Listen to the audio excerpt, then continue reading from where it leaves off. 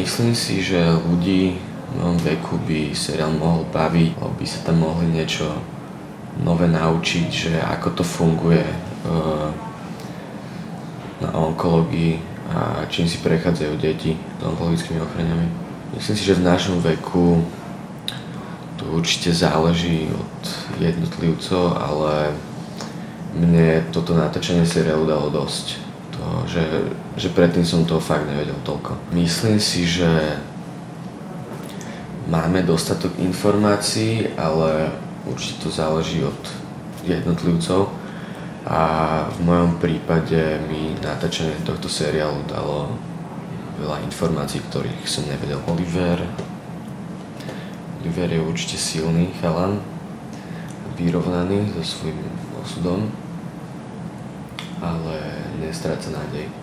Poholil som si kvôli dlhé vlasy. Akože vôbec mi to neprekážalo, lebo vlasy dorastú a podľa mňa zmena je pozitívna.